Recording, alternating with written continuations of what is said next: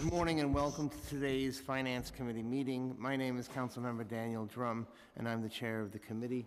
We have been joined by Councilmember Robert Cornegy, Councilmember Jimmy Van Bramer, Councilmember Keith Powers, Councilmember Adrienne Adams, Councilmember Barry Grodenchik, Councilmember Steve Matteo, and Fra- Councilmember Francisco Moya as well. Uh, Today, the committee will be voting on seven items, one transparency resolution,